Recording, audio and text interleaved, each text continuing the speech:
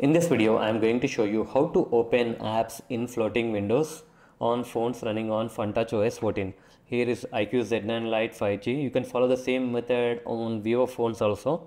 To open the apps in floating window, I will show you the first way. Open the app drawer on your phone.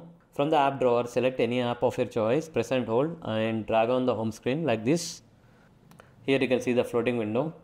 You can place it anywhere you want and also you can open any app in the background you can place the floating window like this.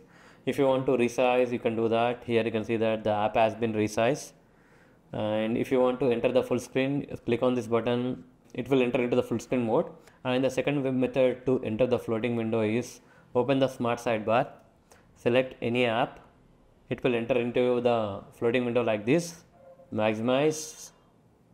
And also you can open the uh, recent task or overview button and click on the app icon and you will get lot of options. Under that you need to click on small window. Now it will enter into the floating window. You can place this uh, floating window anywhere you want. It's a quite handy feature.